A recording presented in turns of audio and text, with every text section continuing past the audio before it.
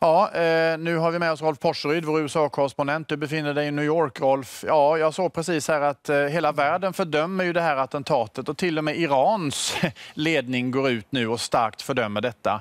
Eh, är det någon form av hopp mitt i all den här fruktansvärda förtvivlan, Rolf? Att det är en värld, en, alltså oavsett om man har meningsskiljaktigheter så, så är det här någonting som enar och alla går ut och fördömer, till och med alltså stater som Iran.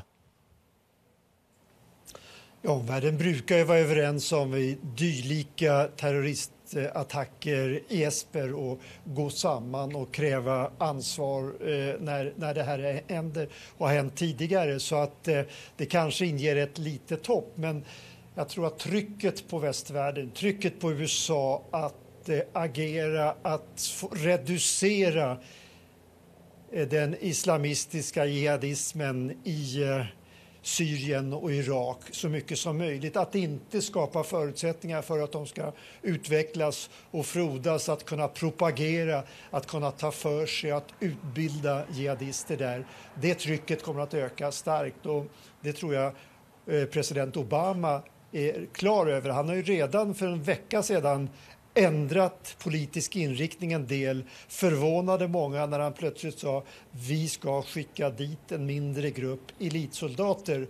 Och då säger generalerna och de som kan analysera det här, det här kan mycket väl utvecklas till att bli fler amerikanska soldater och möjligen kommer händelsen i Paris att påskynda en sån ökning. Mm. Men tillsammans med andra ifrån västerlandet, ifrån Västeuropa och länderna nere på plats som måste försöka med militär på plats få till en reducering av IS framfart. Mm.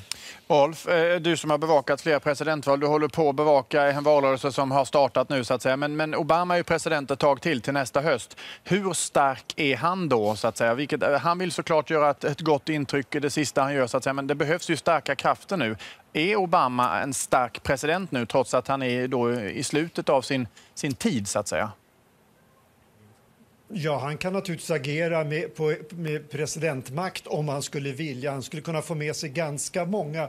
Men vi vet också att den amerikanska opinionen är väldigt trött på de långa och dyrbara, både i kronor och ören och i mänskliga liv, krig som USA har varit med om i både Irak och Afghanistan eh, under många, många år nu. Och det gör att eh, viljan att sätta in en motkraft där nere är kanske lite mindre. Men de här hotbilderna som uppstår, attentaten som kommer till eh, gör att många i presidentvalskampanjerna, framförallt på den republikanska sidan, vill gå hårt fram och ställa mycket, ge mycket mer pengar och, och medel till militären för att agera medan andra vill dra ner, hålla tillbaka. Så det här blir väl en en utveckling som är svår att förutse. Jag tror att Obama verkligen överväger varje litet steg hur man ska agera. Men att någonting måste till är jag övertygad om. Det har varit en handfallenhet från västerlandet, USA och Västeuropa när man har sett hur den islamiska staten IS har vuxit sig ganska stora, kontrollerar stora områden i Syrien och framförallt Irak. Tack så länge Rolf Porseryd med oss direkt från New York alltså. Eh,